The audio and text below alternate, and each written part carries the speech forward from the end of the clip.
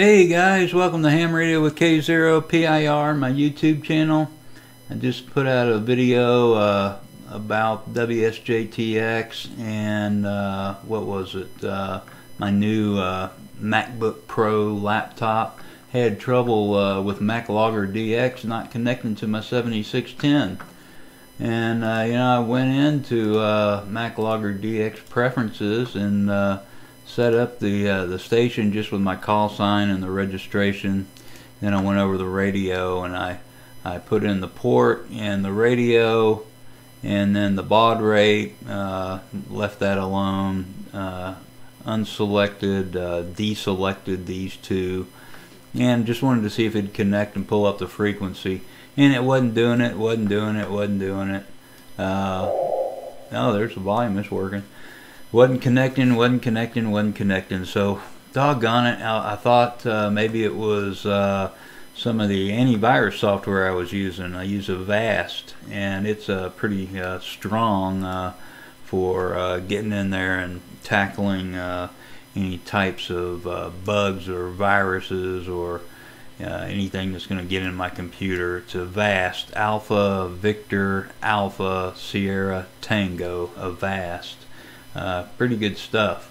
And uh, I thought it was that. I thought it was blocking uh, blocking something. Uh, well, I, I, went round and round with it, and doggone it, it was my radio. Uh, something uh, changed my radio settings. I have a feeling it was that SDR console I've been using with my iPad because sometimes it locks up my radio and doesn't release the changes that it makes. Uh, specifically, one of them is uh, when you go into uh, uh connectors in this radio and go to mod input. if you do that, it will still data off mod, which is data off modulation. It'll have it set to LAN, and, which is not going to work, and the, the, everything else is set to LAN, which is not going to work. So I got a real problem with that software. Uh, I'll have to get together with the guy and see uh, what's going on. Um, so I, I, started looking in the radio, and uh, doggone it, I went into uh, CIV and uh, the uh, CIV settings, and the last one on the list there is USB Echo Back, and it was turned off. so I turned it on, and it connected right away. These are the settings just to connect to my ICOM 7610. I haven't done anything, no CW, no push to talk, anything uh, requires that. So uh, this is just getting it running. So there you go. Make sure your radio settings haven't changed. Uh, go in there and take a look at it if you're having trouble. Uh, or don't forget to look at your radio settings if you're having trouble connecting your software.